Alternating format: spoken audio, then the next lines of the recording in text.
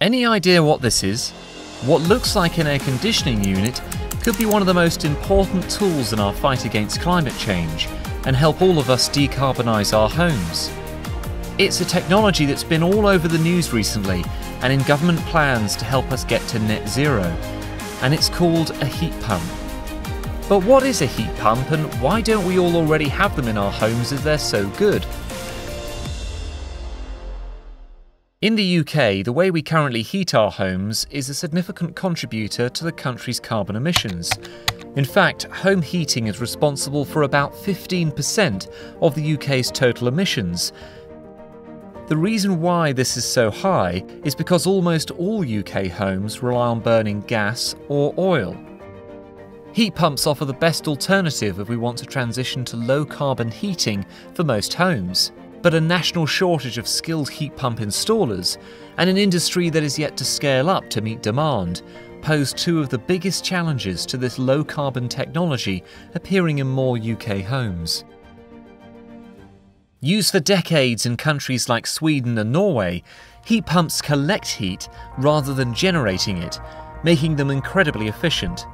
Heat pumps extract heat from a source which could be the air, ground, or water using a fluid like a refrigerant. This heat is then transferred into buildings.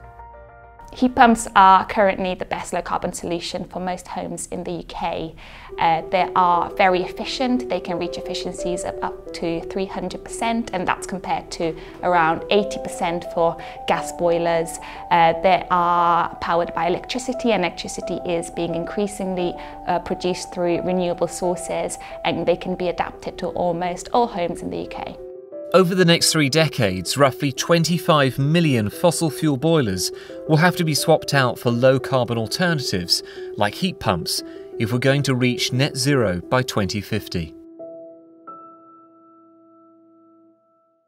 At the moment, heat pumps are pretty rare. There's currently about 250,000 of them in UK homes. That's tiny when compared to the 4 million with oil or LPG and 23 million homes heated with gas. So far, demand has been low, but there are signs it's beginning to increase.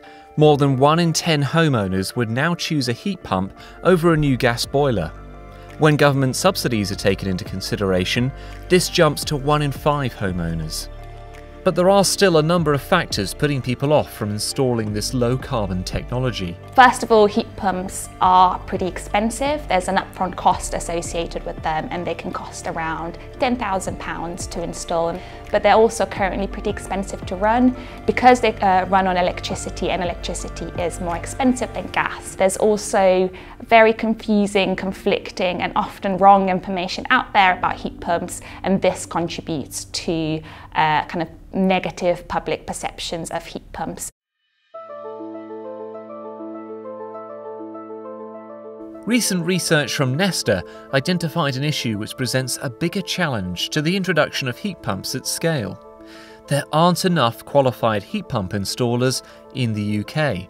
That's because existing boiler engineers don't have much of an incentive to retrain as heat pump installers. Heat pumps are perceived uh, by, uh, gas by some gas engineers to be a novel technology and that the perceived demand uh, is uh, low and that there's not enough trust in government and policy that heat pumps are going to be uh, the solution moving forward.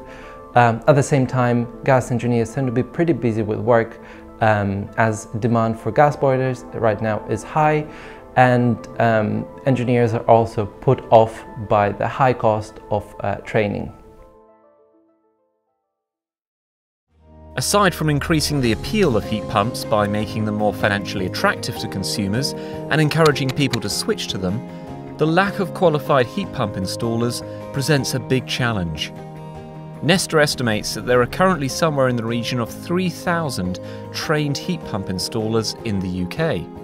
To install 600,000 heat pumps a year, which is the UK government's target to hit by 2028, we'll need to increase the number of qualified installers to at least 27,000. That's an average increase of more than 4,000 a year.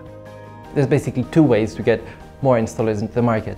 One is by providing better incentives and more reasons for existing heat, uh, heating engineers to retrain to install heat pumps. And the other, and the other way to do it is to attract more younger people into the market.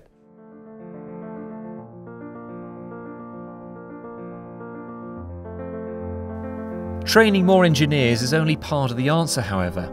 The other challenge is increasing the productivity and capacity of companies in the sector. We know that there's a shortage of trainers across the industry and this isn't just low carbon heating trainers but plumbing and gas engineer trainers as well and we really think that an industry-wide train the trainer program could really help where you could be exposing existing uh, gas um, trainers and plumbing trainers to kind of in-depth uh, low carbon heating. Heat pumps offer an opportunity for many households to switch to a greener way of heating their homes. So Nesta is working with government, policymakers, and installers to make heat pumps a reality for more people across the UK.